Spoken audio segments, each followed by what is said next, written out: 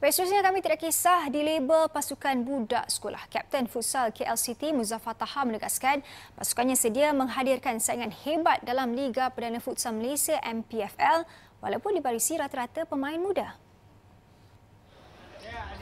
Kelibat KL City mencuri tumpu anak bila dibarisi seramai enam pemain yang masih bersekolah dengan masing-masing berumur 17 tahun. Mereka antaranya Amirul Izzuan Amarul Nizam, Lukman Faris dan Arman Irfan Asmadi sekaligus bakal membuat penampilan pertama dalam Liga Futsal.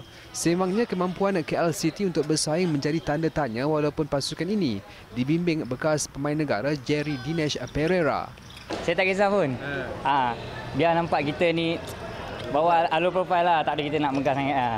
Kita tak ada masalah. So coach akan macam pairing tu dia akan bagi-bagikan lah. Mungkin junior uh, junior akan ada dua tiga senior dalam tu satu junior. So dia orang bila dah ada dia kita tak pakai semua junior dalam satu pair lah. So dia campur-campur dengan senior. So dia orang boleh adapt lah macam tu. Tidak, saya rasa tidak sebab uh, umur kita boleh belajar. So tak ada benda yang boleh menghalang kita dari segi umur. So daripada kecil pun kita boleh belajar. Kita boleh buat persediaan yang awal lah untuk semua benda ni. Saya rasa ada sebab mungkin kalau kita kekalkan semangat kita, kerjasama ramai-ramai, mungkin kita boleh boleh dapat atasi pasukan-pasukan yang hebat macam ni lah.